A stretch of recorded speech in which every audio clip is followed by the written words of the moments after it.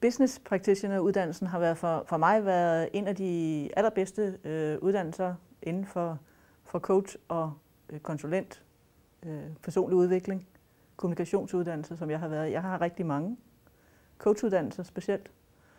Øh, det, der gør forskellen med, med, med øh, Humis practitioner uddannelser, øh, det, det, har, det har været den der praktiske tilgang, og så den fornemmelse af, at, at det, der bliver undervist i, det er også det, der bliver levet.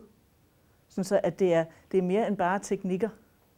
Det, det, er en, øh, det, det går meget dybere for mig, er det i hvert fald, sådan så det, at det går hele vejen ind fra, fra det personlige til, til det spirituelle, til, til rent værktøjsfaglige ting.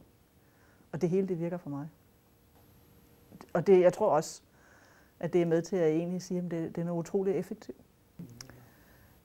Øh, det, det, der først og fremmest er kendetegnet ved det, synes jeg også, det er, at, at vi er meget forskellige, altså deltager, hvilket jo igen giver en utrolig stor øh, bredde, og også mange forskellige øvelser på.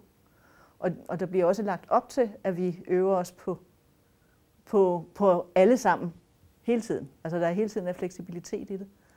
Det vil sige, at, at man lærer ikke bare med én person, som man så lærer virkelig at kunne gøre det med, men, men på mange forskellige typer. Også nogle af dem, som der er vanskeligere, fordi der er nogen, der er vanskeligere for en. Ikke nødvendigvis for alle andre, men, men for en er der nogen, der er vanskeligere at, at arbejde med. Øh, og og det, det, det giver også en, en, en helt anden praktik. Praktisk øvelse. Den, det er en meget praktisk uddannelse. Det er øvelser hele tiden. Mm. Det har, det har været effektivt øh, forstået på den måde, at jeg er blevet mere bevidst om, hvad jeg siger. Altså det enkelte ord, det er ikke noget, det jeg ellers har været bedst til at være bevidst om. Øh, det betyder også, at jeg med det samme, eller i hvert fald meget hurtigere, end jeg har gjort tidligere, lægger mærke til responsen på, på faktisk helt ned på ordniveau. Øh, på et helt andet niveau, end jeg ellers har gjort. Øh, og det, det har været både privat og når, når jeg er ude, enten at holde foredrag eller undervise, eller, eller i en coach-station. Så, så øh, jeg synes, det har været en meget bred effekt.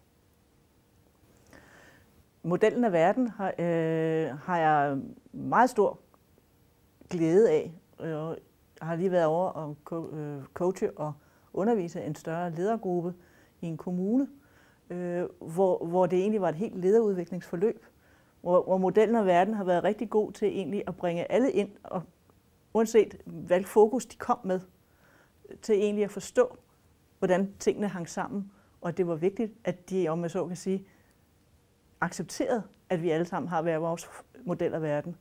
Og det ligesom kunne være det, som der var helt humle, når de ikke engang mellem ikke forstod hinanden, eller ikke forstod deres medarbejdere.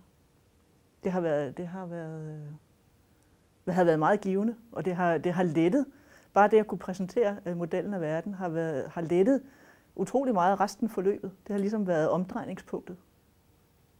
Så det har, det, den, er, den er eminent til at illustrere øh, den måde, som, som vi fungerer på alle sammen.